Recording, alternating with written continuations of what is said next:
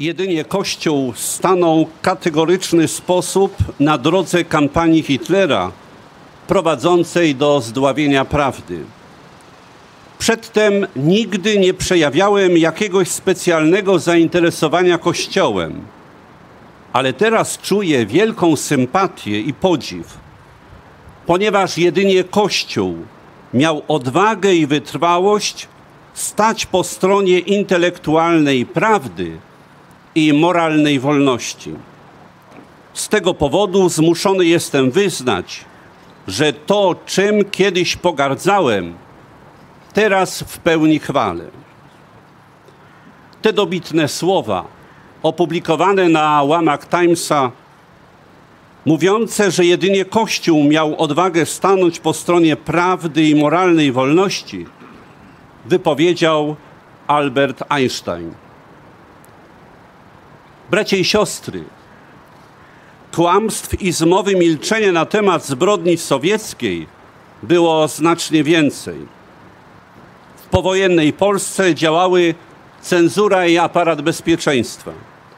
Podczas szkolnych lekcji historii milczeniem zostały pokryte porozumienie Ribbentrop-Mołotow, prawda o sowieckiej agresji z 17 września 1939 roku, informacja o setkach tysięcy zamordowanych i poległych i setkach, setkach tysięcy naszych rodaków, którzy zostali deportowani na Sybir oraz bezkresne stepy Kazachstanu.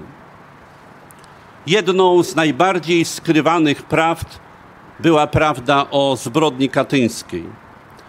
Rosyjscy oprawcy nie tylko w bestialski sposób pozbawili życia naszych rodaków, ale chcieli także unicestwić pamięć o pomordowanych. To, w to kłamstwo zaangażowali się niestety Polacy, którzy byli na usługach Moskwy. Surowo zabronione było wypowiadanie takich słów jak Katyń, Charków, Twer, Miednoje, Bykownia, które są symbolami ludobójstwa i łamania wszelkich praw człowieka i umów międzynarodowych. A jeśli ktoś odważył się mówić lub pisać na ten temat, spotykały go represje, więzienie, a nawet śmierć. Jak słyszeliśmy w odczytanym fragmencie z Ewangelii Świętego Mateusza, Pan Jezus powiedział: Nie ma nic zakrytego, co by nie miało być wyjawione, ani nic tajemnego, o czym by się nie miano dowiedzieć. Co słyszycie na ucho, rozgłaszajcie na dachach. Największą zasługę w zachowaniu pamięci o sowieckiej agresji na Polskę oraz o zbrodni katyńskiej mają rodziny pomordowanych, mają rodziny Sybiraków. To w ich domach szeptem w obawie przed represjami przekazywane były wiadomości o ofiarach sowieckiego totalitaryzmu. Członkowie rodzin katyńskich, rodziny policyjne, rodziny Sybiraków, jak relikwie przechowywali i przechowują listy i kartki pisane z miejsc internowania, skazania i miejsc kaźni. To oni jako pierwsi we współpracy z kapłanami Kościoła katolickiego starali się upamiętnić pomordowanych. Świątynie katolickie stały się miejscem spotkań, wspólnej modlitwy oraz pierwszych tablic dla ocalenia pamięci o ofiarach sowieckiej agresji. W sposób szczególny należy podkreślić wielką rolę Kościoła katolickiego i polskiego duchowieństwa w zmaganiu się o prawdę z zakłamaniem komunistycznej władzy w powojennej Polsce.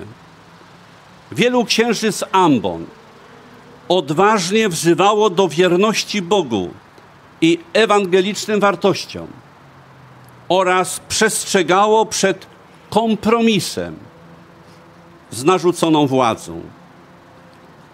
Wielu księży, nawet jeśli im grożono śmiercią nie pozwolili, aby prawda została zniewolona.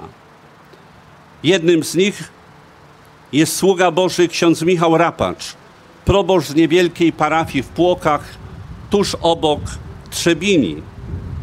W jednym z ostatnich kazań powiedział tak: Choćbym miał trupem paść, nie zaprzestanę tej Ewangelii głosić i nie wyrzeknę się własnego krzyża.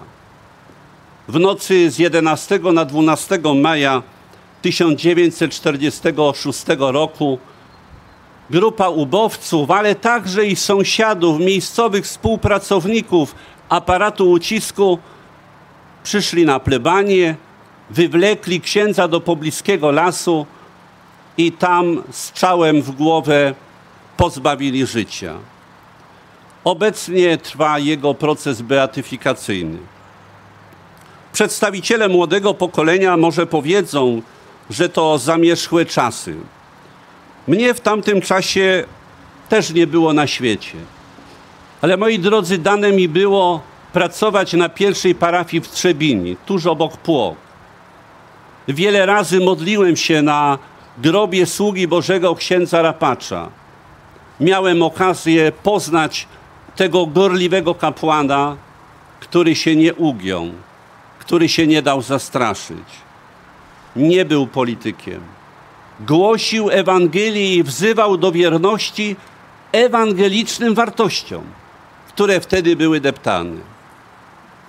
Wzorem apostoła prawdy w niezwykle trudnym czasie stanu wojennego, też u samego początku mojego kapłaństwa, był dla mnie ksiądz, błogosławiony ksiądz Jerzy Popiełuszko. To on przekonywał, nie bójcie się tych, którzy zabijają ciało, ale duszy zabić nie mogą. Oraz wzywał, że należy bardziej słuchać Boga aniżeli ludzi. Bóg przez jego posługę przypominał zniewolonemu narodowi: Nie daj się zwyciężyć złu, ale zło dobrem zwyciężaj.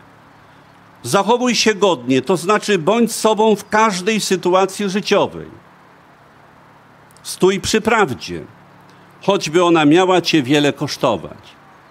To jest przesłanie na każdy czas. Bo jak mówił ksiądz Jerzy, prawda wypowiadana w słowie kosztuje. Tylko za plewy się nie płaci. Za pszeniczne ziarno prawdy trzeba zapłacić. Każda rzecz, każda sprawa wielka musi kosztować i musi być trudna. Tylko rzeczy małe i liche są łatwe. Jak wie starsze pokolenie, jesienią 1984 roku za wierność Chrystusowi i głoszonej prawdzie, za wierność człowiekowi. Kapłan, który głosił prawdę z miłością, bez agresji, został brutalnie zamordowany. Wielkim apostołem prawdy o zbrodni katyńskiej i o Golgocie Wschodu był ksiądz Stefan Niedzielak, współzałożyciel rodzin katyńskich, który został zamordowany w styczniu 1989 roku, już w czasie obrad Okrągłego Stołu. Będąc proboszczem w kościele świętego Karola Boromeusza na Powązkach w latach 80. wraz z Wojciechem Ziembińskim zaczął tworzyć sanktuarium poległym i pomordowanym na wschodzie. Wierny ewangelicznemu przesłaniu, że nie ma nic zakrytego, co by nie miało być wyjawione, ani nic tajemnego, o czym by się nie miano dowiedzieć, jako kapelan warszawskiej rodziny katyńskiej często upominał się o ujawnienie pełnej prawdy o zbrodniach na wschodzie. Latem 1981 roku był także inicjatorem wzniesienia Krzyża Katyńskiego na wojskowych powązkach. On także zapłacił najwyższą cenę, pragnąc ocalić prawdę o ofiarach Golgoty Wschodu. Bracia i siostry, ofiarom Golgoty Wschodu oraz apostołom prawdy o ludobójstwie na wschodzie jesteśmy winni wdzięczność i pamięć. W katedrze polowej Wojska Polskiego znajduje się kaplica katyńska, w której zostały upamiętnione ofiary sowieckiego totalitaryzmu. Symetrycznie po drugiej stronie nawy głównej usytuowana jest kaplica pamięci, w której znajduje się wiele tablic upamiętniających chwałę polskiego oręża i bohaterstwo obrońców naszej ojczyzny. Są też kamienne tablice z wyrytymi imionami i nazwiskami kapelanów, którzy oddali życie w służbie Bogu i ojczyźnie, służąc żołnierzom w czasie wojny obronnej we wrześniu 1939 roku, podczas okupacji niemieckiej i sowieckiej, w walkach na wielu frontach na zachodzie Europy, w powstaniu warszawskim. Zostały także utrwalone nazwiska 11 kapelanów zamordowanych już po wojnie, w czasach stalinowskich, a wśród nich księdza Władysława Gurgacza, jezuity kapelana żołnierzy niezłomnych. O tych kapłanach, niezłomnych świadkach prawdy, nie możemy zapomnieć. W listopadzie bieżącego roku w katedrze wojskowej w kaplicy pamięci umieścimy kolejną tablicę. Zostaną na niej wypisane imiona i nazwiska księży, którzy w trudnych czasach Polski Ludowej odważnie towarzyszyli opłakującym śmierć swoich bliskich, ofiar Golgoty Wschodu z mocą i pasją proroka upominali się o pełną prawdę, o Sybirze, o Katyniu, w myśl ewangelicznej mądrości. Poznacie prawdę, a prawda was wyzwoli. Bo nie da się budować przyszłości na kłamstwie. Przyszłość i zbliżenie narodów mogą dokonać się jedynie na fundamencie prawdy wielu z tych kapłanów nie tylko nie zdradziło Chrystusa za parę srebrników jałowego spokoju, ale głoszoną prawdę potwierdzili męczeńską śmiercią. Zachowali się godnie w tamtym trudnym czasie. Dlatego prośmy w czasie dzisiejszej liturgii, aby i nam nie zabrakło odwagi, by prawdę głosić i by prawdy bronić prośmy o godne życie dla nas, by Chrystus mógł przyznać się do nas przez swoim Ojcem w niebie.